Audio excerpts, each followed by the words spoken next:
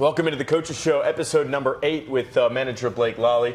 Uh, thanks for doing this again, Blake. Yeah, no problem. Second half, 18 and 18, um, even 500. Your thoughts on what it's going to take to be a playoff team as we uh, as we move down the stretch? I think uh, stay on the path we're on. We've been playing some really good baseball as of late. Um, coming off a five and one series on the road, a nice two week homestand. Um, I, I, I honestly I like where we're at. Um, have added some arms. Um, you know the the lineup's still scoring runs. I, I think we're on the right path. I think you know we, our our job is to win series from here on out, and I think if we do that, we're gonna you know be where we want to be.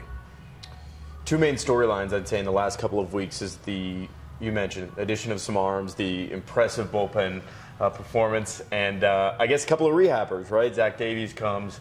Yeah. And Gabriel Moreno today. Let's start with the bullpen arms. Um, it's been really impressive what they've done over the last month. They almost single-handedly won the series in uh, in Sacramento, taking five of six. Why have they been so impressive, and what has impressed you the most out of the bullpen out there? Um, just you know, especially in Sacramento, right? Like Yeah.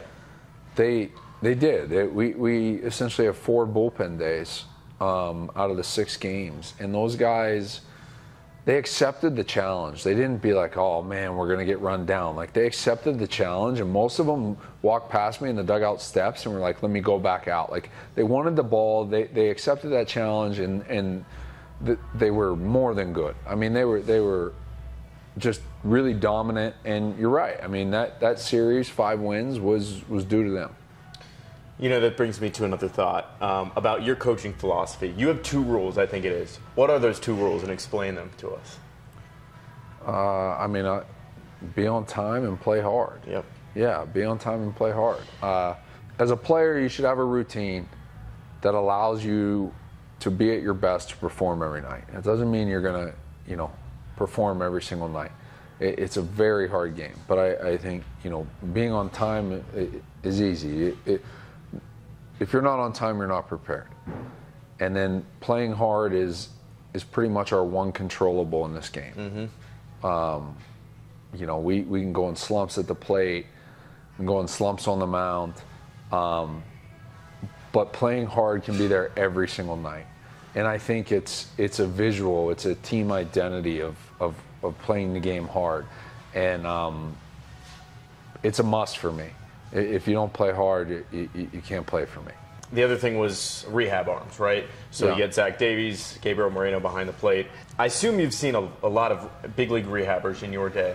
You know, it's an interesting concept in our game, right? These big stars at times come down to these small towns and fill up ballparks. What has been the place you've seen up fill the most in your time because a, uh, a rehabber came to town? Um, I think when I when I was in low A um, with the Peoria Chiefs, who were the Cubs. I mean, I think we had like Kerry Wood and Mark Prior um, back in the day, and yeah, I mean they, they fill ballparks, right? It's it's uh, it's really big names that that are are visual on TV, Right. and it's something, and they come to smaller towns, and people get to see them up close, and uh, it's it yeah, it's a cool thing. It really is. All right, we're going to do some quick hitters if that's good with you, Blake. Yeah, let's do it. All right, cool. Uh, one actor to play you in a movie. Oh, One actor. A actor to play you in a movie.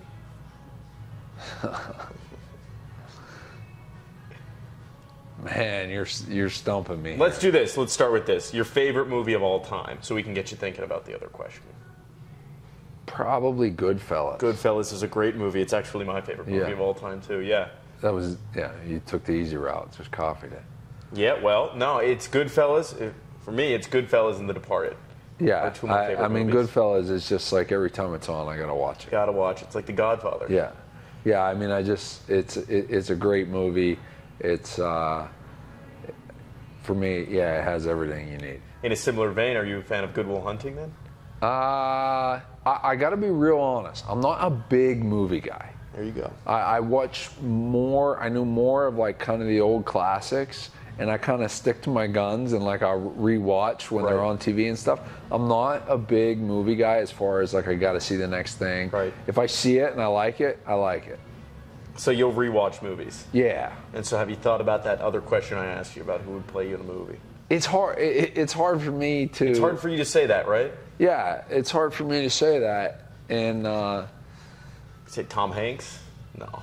I don't know. You tell me. You know me. You've been around me enough. Like, who who would you pick to play my part? Okay, we can go with Tom Hanks. Tom Hanks is a very versatile uh, actor, so that's why I would pick him. Okay. Okay. We'll we'll go with that. You got one for me, or all right, we'll move no. on. Yeah, we'll move on. Uh, the favorite, your favorite sport you like to watch, not baseball. Uh, Football. Football. Yeah. Specifically Pittsburgh Steelers. Watch Yeah. Gotcha. Cool. Yeah. Awesome. Appreciate Fir- you. Skip. First preseason game's on in an hour, so Is that right? yes. Oh well, who do they play? Uh, I believe the Buccaneers.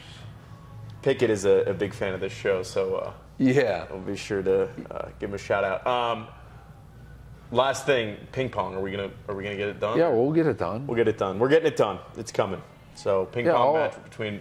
Yeah, we just got to go somewhere and play. Yeah. There's plenty of tables. All right. All right. We're gonna knock it out. There you go. That's coach's show, episode number eight.